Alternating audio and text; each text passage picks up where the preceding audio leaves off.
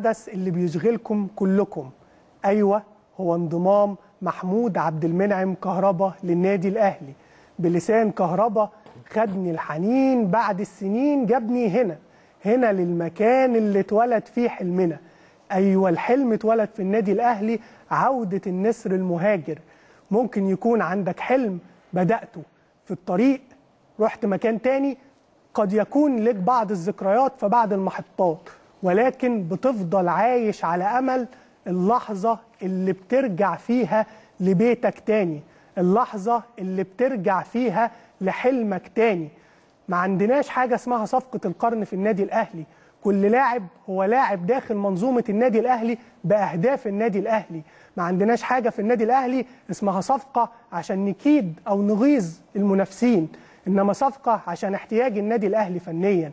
وهي دي مدرسة النادي الأهلي وهي دي الحاجة اللي هيكون كهربا وسطها عشان يقدم شكل تاني خالص مختلف عن أي شكل شفتوه للنسر المهاجر قبل كده اللي رجع بيته.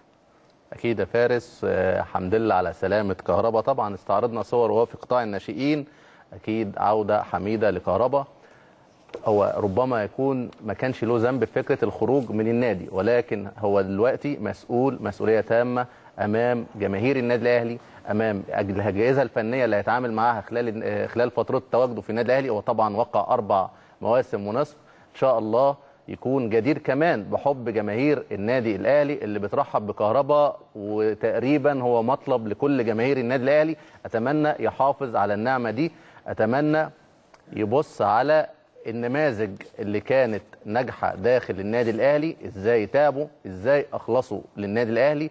أكيد كهربا كان حابب جدا إن هو يرجع النادي الأهلي لكن عليه دلوقتي مسؤولية كبيرة جدا جدا جدا وعليه اختيار الطريق اللي يقدر يوصل منه إن هو يكون على قدر حب آه، جماهير النادي الأهلي. وكمان نجم كبير زي النجوم زي أبو تريكة زي وليد سليمان زي رموز تانية كتير أحمد بلال عماد متعب محمد بركات وائل جمعة ناس كتير تعبت واجتهدت. ودي طبعا لقطات حصرية لبرنامج الأهلي خط أحمر كواليس توقيع كهربا داخل النادي الأهلي مع كابتن سيد عبد الحفيظ والكابتن طبعا أمير توفيق. لقطات النهارده يا أحمد التقطت لكهربا اللي وسط بيته وسط جمهوره اللي بيحبهم واللي منتظرين منه كتير وبتجيلنا أسئلة بتكلمنا عن كيمياء كهربا مع النادي الأهلي. هل كهربا هيظهر بشكل النادي الأهلي ولا كهربا فولته العالي مش هنسيطر عليه؟ إحنا حابين نقول إن النادي الأهلي منظومة. أي حد بيتكلم في أي مخاوف النادي الأهلي منظومة.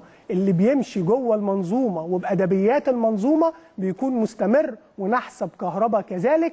أي حد بيخالف المنظومة دي تلقائيا ما بيلاقيش نفسه موجود فيها وواضح السعادة على كهربا وهو موجود وسط البيت اللي خرج منه ورجع عشان يكون موجود وسط جمهوره. أنا نتمنى طبعا تألق لكهربا كهربا لعيب فنيا عالي جدا جدا لا جدال زي ما قال فارس منظومة النادي الأهلي هي اللي بتخلي اللاعب يكمل أو يلفظ المنظومة تلفظ اللاعب أو ما يكونش موجود مكان. كذلك جماهير النادي الأهلي دايما بيكون عينيها على اللاعب المخلص للتيشيرت. مهاراتك عالية كتير جدا لكن لو بصينا كمان في تاريخ النادي الأهلي هنلاقي لعيبة كانت آه، هدفها أو مبدأها هي فكرة القلب. اللعب برجولة اللعب بقلب اللعب بإخلاص. شفنا ناس كتير جدا. كابتن شادي محمد شال بطولات كتير جدا وهو سرد باك ومهاراته ما كانتش المهارات العالية لكن كابتن شادي محمد مخلص للتيشيرت وكان بيأدي برجولة. الحقيقة فارس إحنا موضوع قلب النادي الأهلي أنا أنا شايف إن